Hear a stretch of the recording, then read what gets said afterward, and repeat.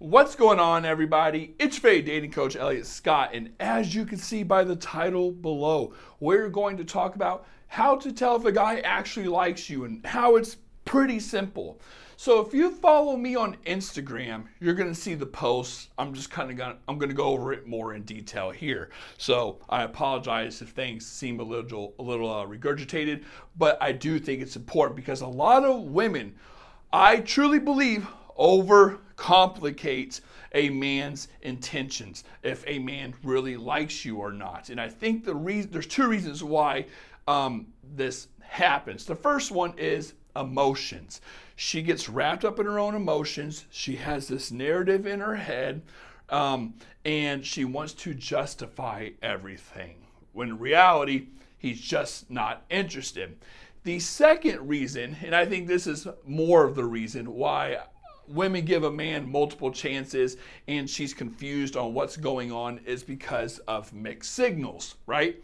But I always tell my clients that a mixed signal is a signal, it is a sign. Ladies, when you're talking to a guy and he's giving you mixed signals, what this basically means is, I, I, guess we can start from the bottom and work our way up instead. It, like, for example, if he's not giving you consistency, if he's not consistently giving you the positive signals, right? So reaching out often, making the dates, texting you, um, being consistent with his actions, like he's not hot and cold, not all that stuff, right?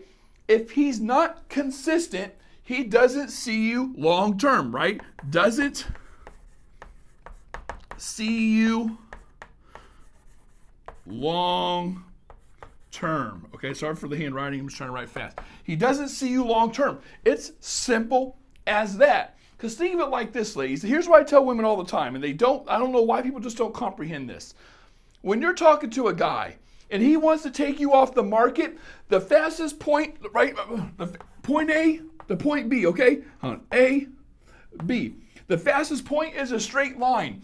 It's not playing these games. It's not pulling away. It's not doing this. It's not this shit. It's not these mixed signals to get you hooked because any smart man knows that to get a woman hooked, you have who wants the same thing as you and you both are happy, healthy, loving people who want the same thing in terms of a relationship, right? You're dating for the same reason.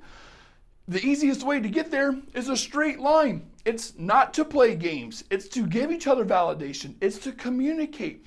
All that stuff. So when you're talking to your guy right now, I want you to sit here and think about your guy in your situation.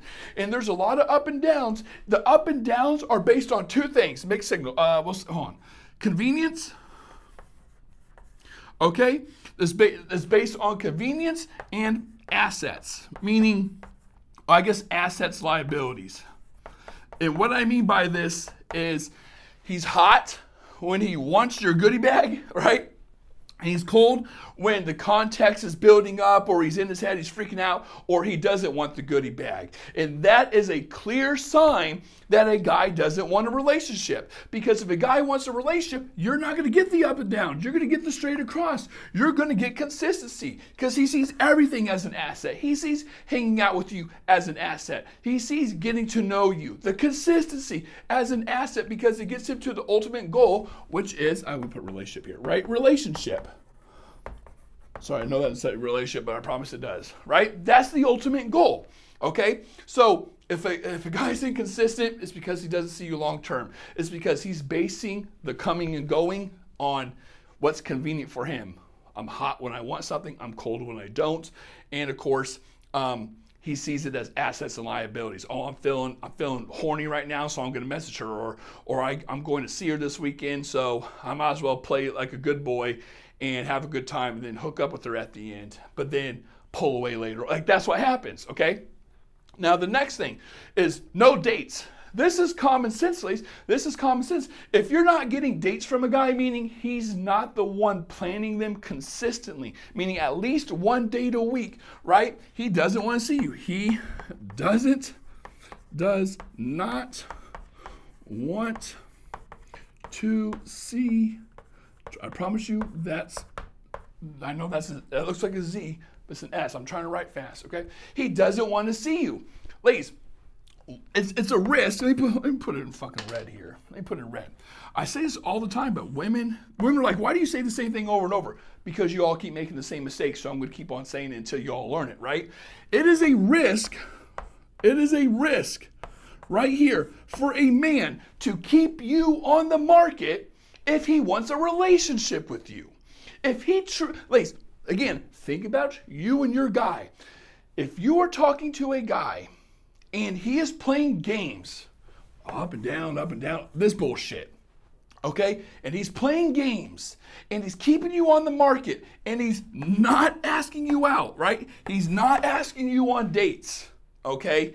If he's not taking you out consistently, it's a risk for him, well, it, it's a risk if he wants a relationship. If he doesn't want a relationship, you get what I'm getting at? It's not a risk. He doesn't care. So that's how you know if a guy actually likes you.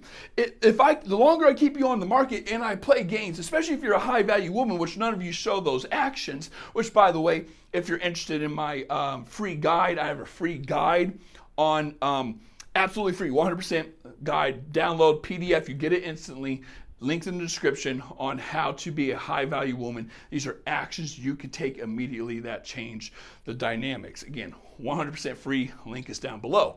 But if you if he sees you as a high value woman, right? High value women do not let men make a lot of mistakes. They, uh, no one's perfect, so she knows the boundary. She knows, okay, he effed up, but he obviously didn't mean to, or he's sorry, or I can tell he actually likes me, like, uh, or he actually likes me. Yeah, so she, she lets the guy make some mistakes, right? But a man who is consistently not asking you out doesn't care about taking you off the market. Otherwise, he would be asking you out. Because by not, I know I'm beating a dead horse here, I apologize.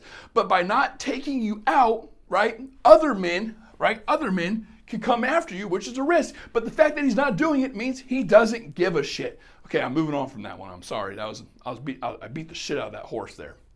Okay, no texting means it means uh, doesn't does not want you already know want to hear from you. Okay, he doesn't want to hear from you. He doesn't want to hear from you. It goes right. This goes right back down to here. Okay, if you have a guy who is not consistent meaning he's not doing this and he's not doing this. It is a guy who does not care about a relationship. It's literally that easy, ladies. And if you want more detail on this, I, I have a guide. Now, this one's paid for, but I do think it's worth it because you get six guides I have a guide on filtering men and I have a guide on how to tell how much a guy actually likes you. Like like 1 to 10, like how much and how serious this guy is about you. Read that guide, you'll know where you stand, okay? But I can promise you if if you're talking to a guy who's not consistent with any of these things, the answers are right here. He doesn't see you long term. He doesn't want to see you at all, really, or or it's based on convenience. Um, and he doesn't want to. Uh, he doesn't want to hear from you. He's taking you for granted. Okay, he's taking you for granted. So, ladies, please, if this sounds like your guy, if this sounds like your situation, ch- hey, step it up. High value women don't get in these situations. They cut that shit off immediately. The, the, the example I always use is a negotiation. If you have the power in a negotiation, even if you want the outcome to work, right? If it's not fair to you, a powerful negotiator will walk away. Now, of course, it has to be win win for both. A, a, really good negotiator, it's win win. It's not win lose. They're not just going to take advantage of the other person um, like a lot of people think.